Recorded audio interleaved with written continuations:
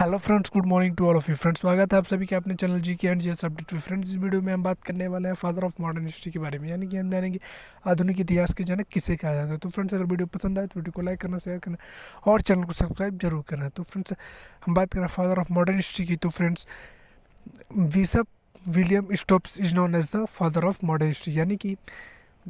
बीसप William stops को आधुनिक इतिहास का जनक कहा जाता है तो फ्रेंड्स अगर वीडियो पसंद आए तो वीडियो को लाइक करना शेयर करना चैनल सब्सक्राइब जरूर करना थैंक यू फ्रेंड्स मिलते हैं नेक्स्ट वीडियो